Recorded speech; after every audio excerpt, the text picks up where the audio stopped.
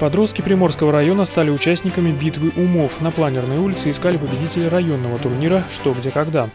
За выход в финал боролось больше 80 команд. В каждой не больше шести человек, которые демонстрировали знания в литературе, истории, географии даже в устройстве Вселенной. В этом году последней теме посвятили почти половину вопросов. В честь юбилея полета в космос Юрия Гагарина. Когда а, состыковывались космические корабли «Союз» и «Аполлон», знаменитое, знаменитое соединение американского и советского космического корабля, то они соединились как раз-таки над рекой Эльбой.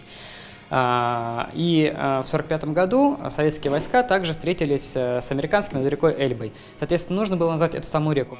За правильные ответы игроки получали баллы. У кого их больше, тот и становился лидером. Кстати, за те пять лет, что в Приморском идет игра, ряды потенциальных знатоков основательно пополнились. В этом сезоне от участников не было отбоя. Есть даже команды, уже заслужившие солидную репутацию. Впрочем, им еще раз предстоит подтвердить свой статус. 16 лучших сборных распределят призовые места 19 апреля.